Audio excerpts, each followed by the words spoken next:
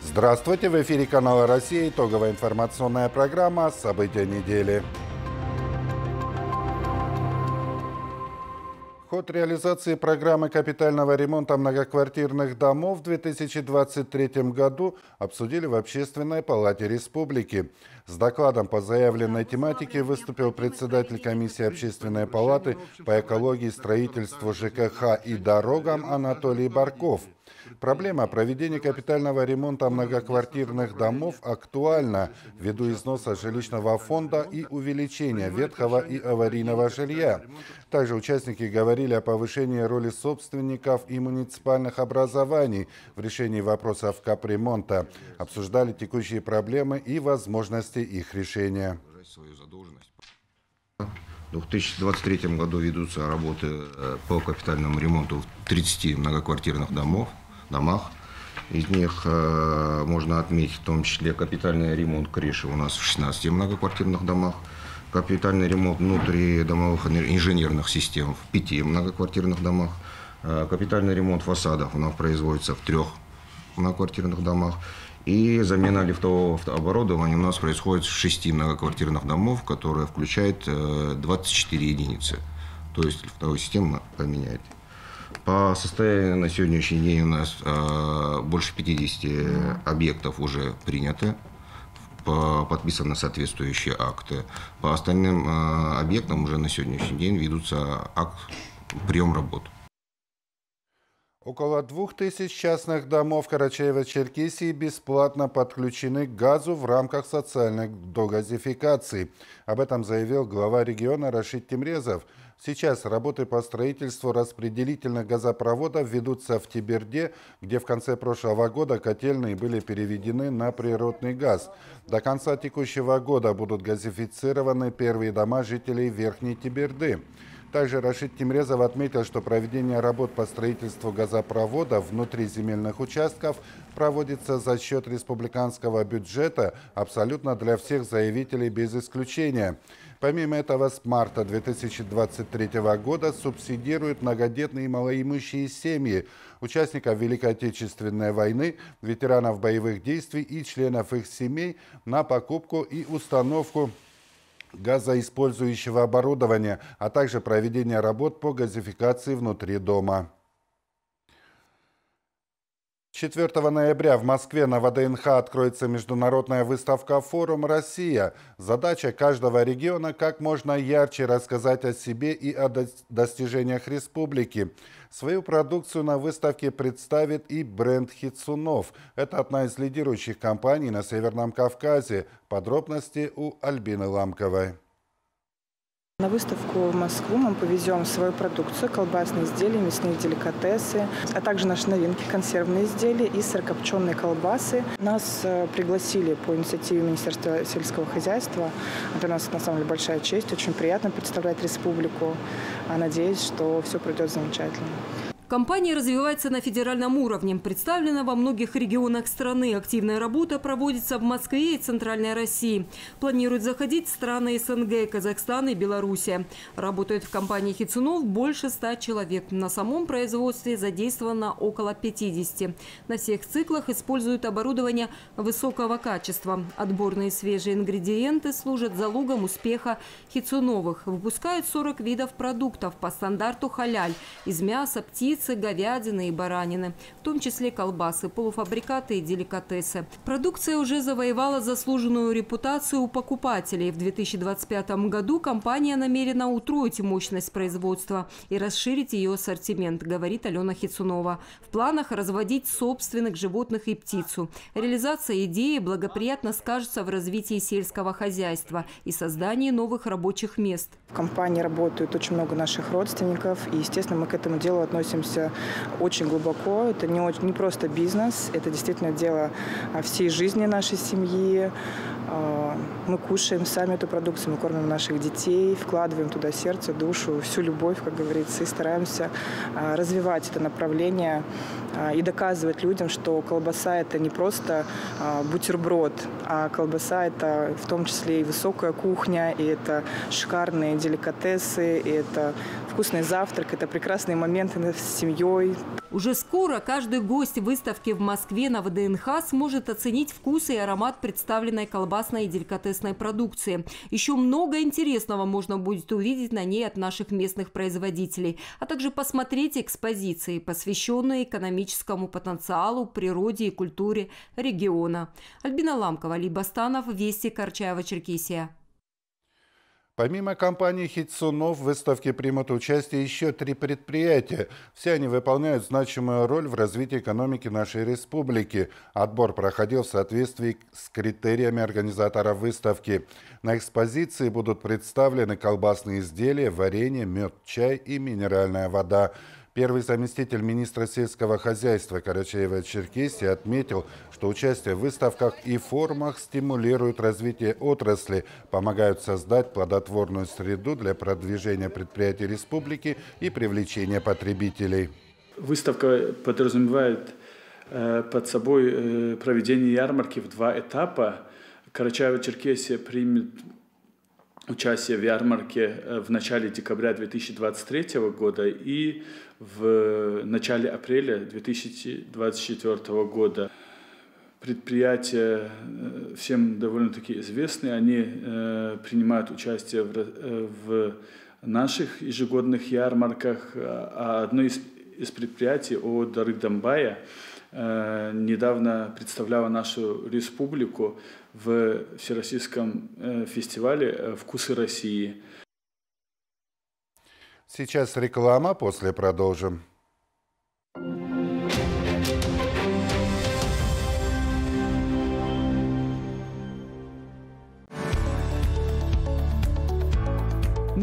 Салон «Слон». Широкий ассортимент классической и современной мебели для вашего дома. Мягкая мебель, спальни, матрасы, кухни и многое другое. Наличный и безналичный расчет, а также кредит. Черкесск, шоссейная, 167. Экономьте с умом. Качественные окна по низким ценам. Скидка 47%. Замер бесплатно. Оконный комбинат. 8 938 333 92 0. 22 октября состоится фамильный сбор рода Кучетеровых в селе Учкикен. В 12 часов в ресторане «Жемчужина Кавказа». Вход бесплатный.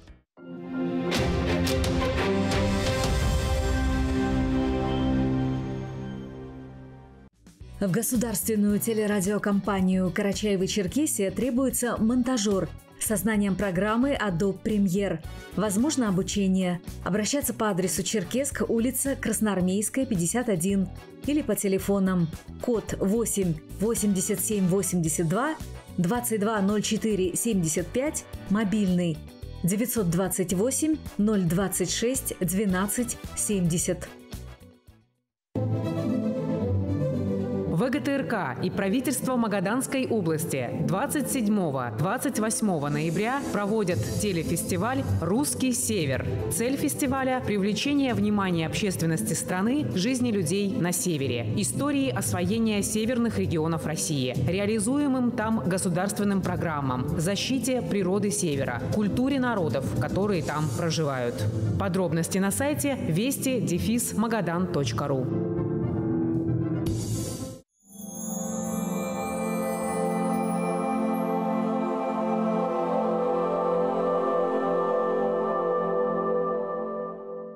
вскрыть через 22 года в годовщину столетия Великой Победы на Колхорском перевале у подножия одного из обелисков активисты Зеленчукского райкома партии КПРФ заложили капсулу времени, адресованную будущему поколению. К массовому патриотическому восхождению присоединилась и наша съемочная группа. Среди тех, кто оставил высокогорный автограф на письме времени, оказалась и Фатима Даурова. Очередной массовый поход к вершинам Кавказского хребта был посвящен 80-летию освобождения Кавказа в Великой Отечественной войне и поддержке специальной военной операции. В автопробеге с последующим восхождением к местам проведения ожесточенных боев на Клухорском перевале приняли участие более 50 человек. По пути исследования патриоты остановились в поселке Орджоникидзевский у музея памятника защитникам перевалов Кавказа. На территории этого архитектурного комплекса находится братское захоронение останков бойцов Красной Армии, павших в боях за перевалы Кавказа. Минутой молчания, возложением венков и цветов к вечному огню участники автопробега почтили память советских солдат. Затем автоколонна под знаменами Победы, СССР, России и Карачаева-Черкесии последовала по маршруту до Клухорского перевала.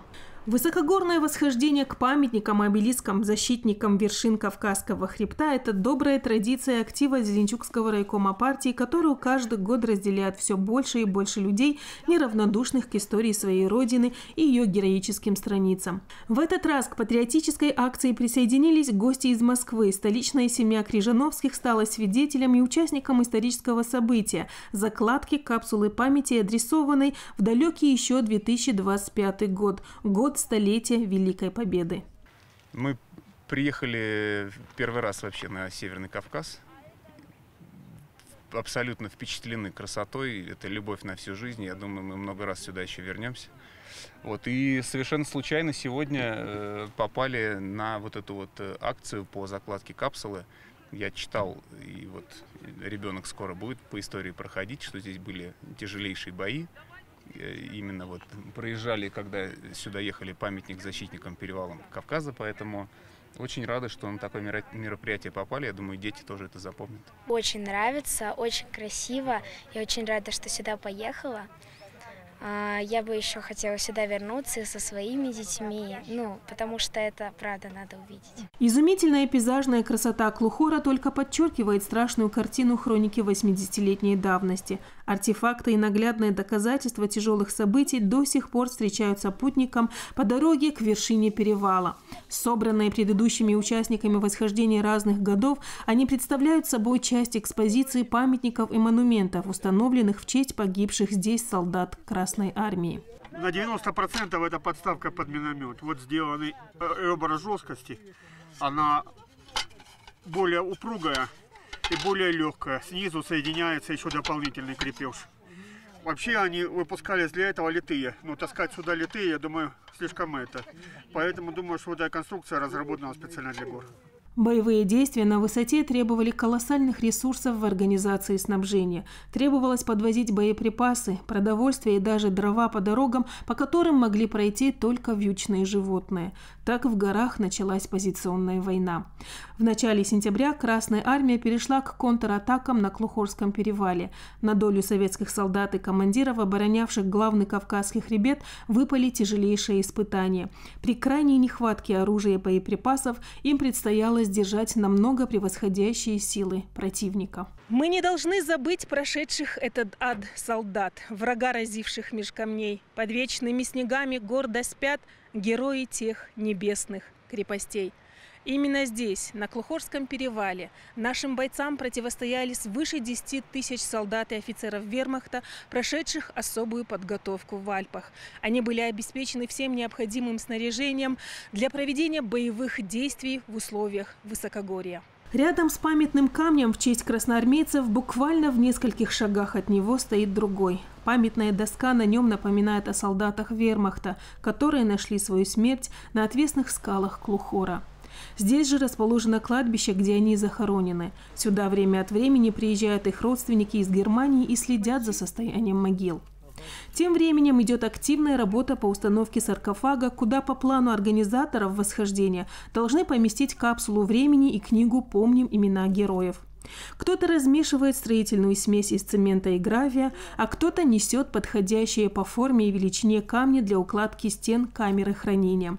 Параллельно участники восхождения по очереди оставляют свои подписи на историческом документе – капсула памяти или времени – особый формат писем в будущее. Она воплощает в себе сразу две мечты человечества – возможность сохранить что-то важное на века и одновременно совершить символическое путешествие в будущее.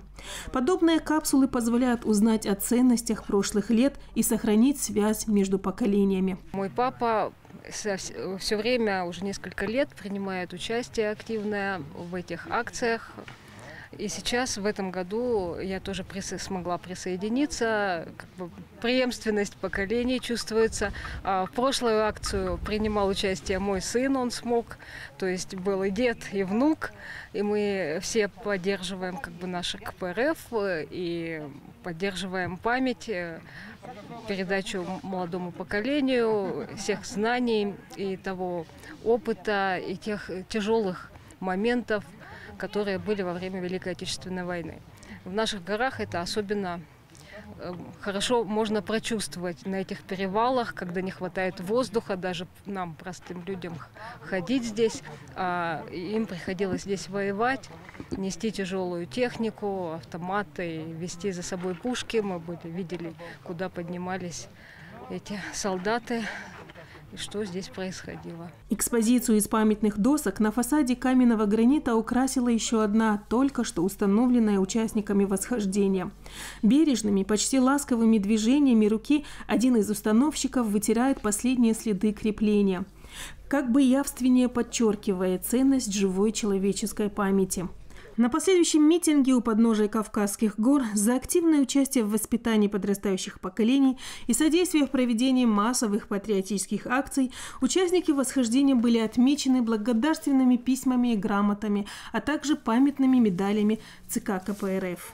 Гульнара Коломойцева и Светлана Дяченко, сотрудники Зеленчукского краеведческого музея, буквально на днях вернулись домой после выполнения волонтерской миссии в ДНР. Они были в Мариуполе, где выполняли гуманитарные задачи. Патриотизм исходит из сердца, там же, где горит любовь к родной земле, считают девушки. Первое – это помогать э, людям, тем более тем, которые попали в сложную ситуацию. По поводу сказать Мариуполя, там, конечно, помощь нужна, требуется, и это не будет остановлено, это будет продолжаться на э, протяжении многого времени, наверное. Поэтому есть э, в мыслях у нас, в планах поехать еще раз, потому что помощь это нужна, и она как бы, ну вот, э, как сказать, даже, не знаю, очень благодарны люди, те, которые приходят, видят, что приезжают из России волонтеры, ну и даже и не волонтеры, те, которые просто люди неравнодушные, жители России, приезжают, помогают. Это, конечно, неоценимый вклад, и это должно быть. Не смогла остаться в стороне. Хотелось как-то помочь нашему фронту и тылу помочь. Мы вообще со Светой с начала специальной военной операции всегда участвовали в сборе гуманитарной помощи, в ее отправлении – но когда появилась возможность, появилось время на это, а, как-то вот все сложилось, и мы поехали. Хотела своими глазами увидеть, а, поговорить с людьми, встретиться с ними, узнать, познакомиться вообще с населением. И действительно очень-очень нужно, чтобы наши люди ехали и помогали. Просто добрым словом, добрым взглядом, неравнодушием своим каким-то, а, просто хорошим отношением, чтобы люди чувствовали, что они не одни, что они столкнулись с горем, страшным временем на самом деле. То, что они пережили, это не описать словами. Это бомбежки, это голод, это холод. Часть группы дошла до верхней седловины Клухорского перевала, где у обелиска минутой молчания они почтили память защитников Кавказских высот. Бои шли с августа 42 по э, октябрь 43 года. Клухорский перевал э, являлся одним из перевалов, на, через который немцы пытались идти к бакинской нефти. Но защитники Кавказа не дали им перевалов Кавказа не дали им осуществить эти, э, эти планы. О важности сохранения исторической памяти, о мужестве советских солдат из прошлого века и гордости за их современных потомков, которым пришлось возобновить борьбу с фашизмом, говорила лидер райкома партии Роза Чучаева. Почет и вечная слава всем, кто в годы войны защищал Родину от врага и принес свободу странам Европы.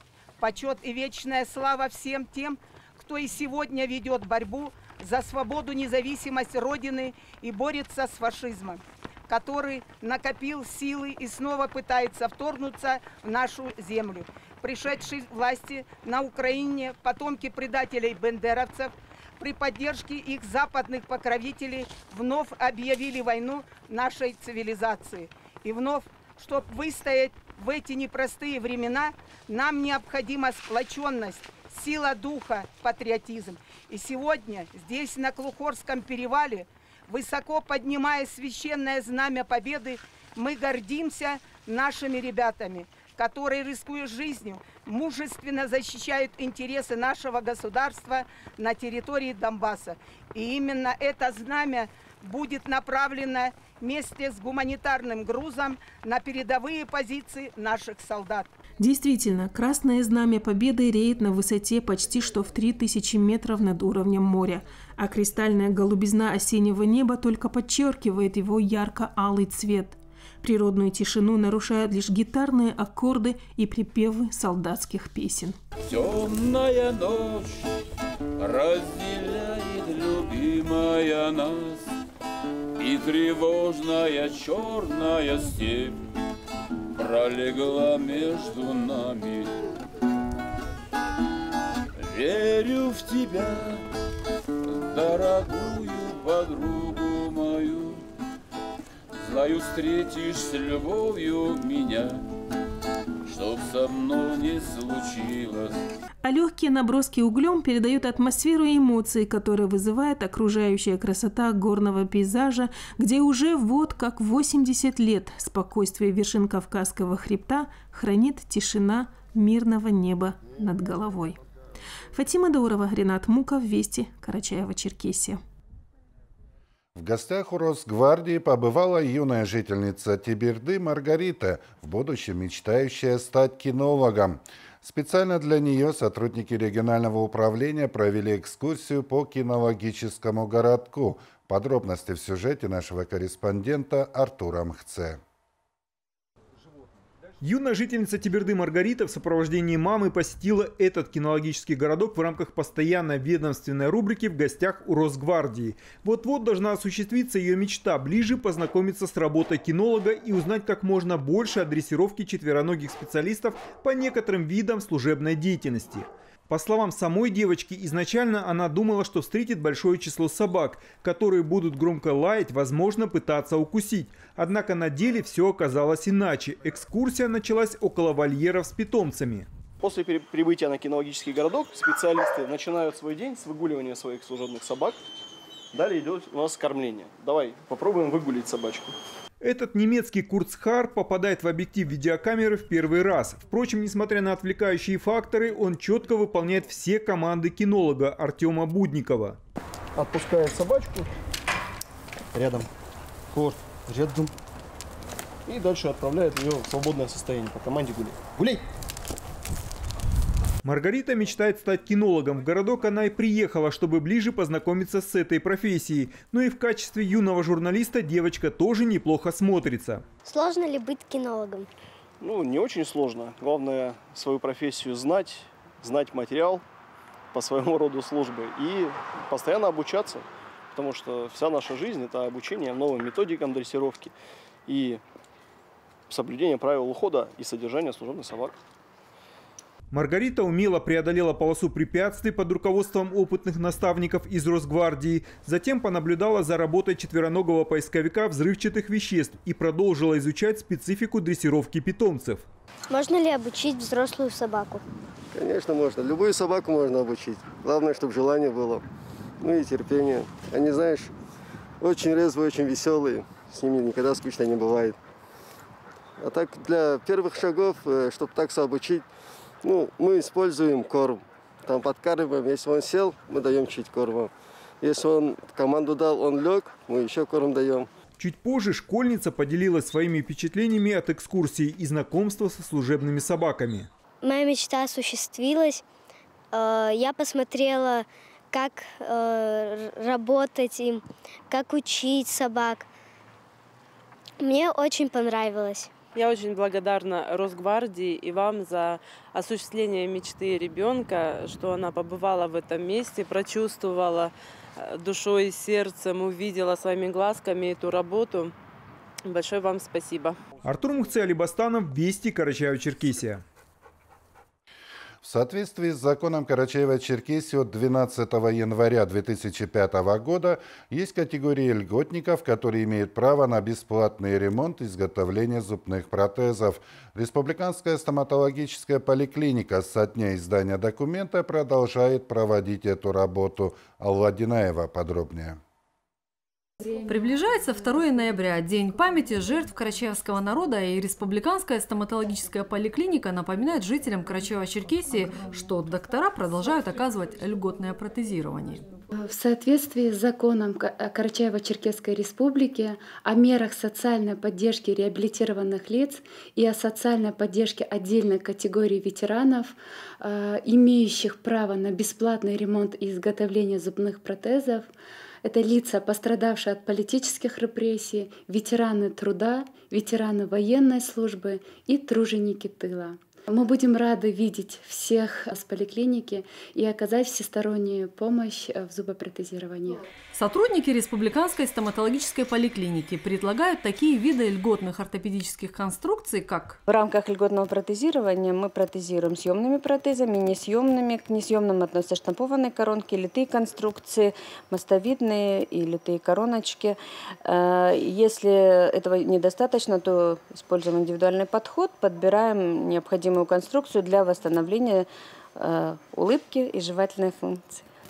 Для реализации льготного протезирования лицам, пострадавшим от политических репрессий, ветеранам труда, труженикам тыла, ветеранам военной службы, при себе необходимо иметь паспорт и льготное удостоверение. Прийти на приемы и получить консультацию и рекомендации по дальнейшему протезированию можно с 8 до 17 часов ежедневно, кроме субботы и воскресенья в Республиканской стоматологической поликлинике в Черкеске, улица Горького, 6А. Алла Динаева, Али Бастанов, Вести, Карачева-Черкесия. На базе Центра образования номер 11 специалисты консультационного центра для родителей провели групповую консультацию. В очередной раз рассказали, как повысить их компетентность в вопросах образования и воспитания детей. Центр, как и прежде, оказывает консультации в очной форме через выездные и дистанционные консультации. О планах и результатах работы специалистов расскажет Альбина Ламкова.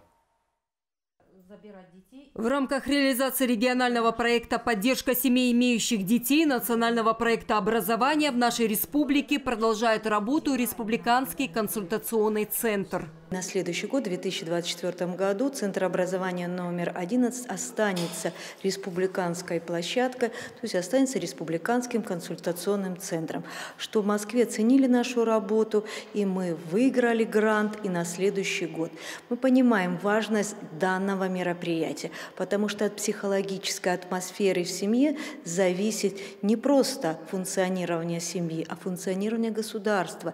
И эмоциональная составляющая будущих граждан. Сейчас проходит Всероссийская неделя родительской компетентности в рамках реализации мероприятия по оказанию услуг психолога, педагогической, методической и консультационной помощи родителям или законным представителям детей, а также гражданам, желающим принять на воспитание в своей семьи детей, оставшихся без попечения родителей федерального проекта «Современная школа» национального проекта образования. Призываем всех родителей воспользоваться бесплатными услугами. В наше время рыночных отношений так редко предоставлять что-либо бесплатно. Тут государство готово оплатить. Самое главное, что есть в наше время, это образовательную, воспитательную услугу. Образование век информационных технологий стоит очень дорого. Поэтому, дорогие родители, придите, мы сделаем жизнь вашу лучше и ваших детей. Консультации по вопросам образования и воспитания детей до 18 лет могут оказать помощь дефектолог, педагог, психолог и логопед. Еще бы хотела призвать к следующему. Мы все время говорим, «А, ВПР, как это страшно, ОГЭ, боже мой, а ЕГЭ это вообще караул. А скоро у нас будем писать сочинения, и вся семья начинает себя накручивать. Вот я вам хочу сказать, не надо этим заниматься. Есть специальные люди, которые готовы вас настроить, настроить ваших детей, всех ваших бабушек, дедушек, всех, кто в вашей семье переживает за выпускников или учащихся школ. Педагогическая грамотность родителей, их просвещенность в психологии, мотивированность их на полноценное воспитание своего ребенка, залог успеха в обучении и развитии у него социальной и жизненной компетенции, над чем и работают специалисты. Я провожу консультации для родителей э, на протяжении уже пяти лет. Также мне помогают и психологи, и логопеды, и дефектолог. Наша работа очень эффективна для родителей. Они получают консультации и очень довольны. Мариам Баташева воспитывает семерых детей. Полученная психолого-педагогическая информация на таких встречах всегда своевременна. Каждый раз что-то новое и полезное, говорит она. У меня в семье особый ребенок. И мы э, обращаемся э, с ребенком как специалистом, дефектологу, логопеду, психологу. Очень хорошие результаты. Бывало, что комплексовали и не хотели разговаривать с другими людьми.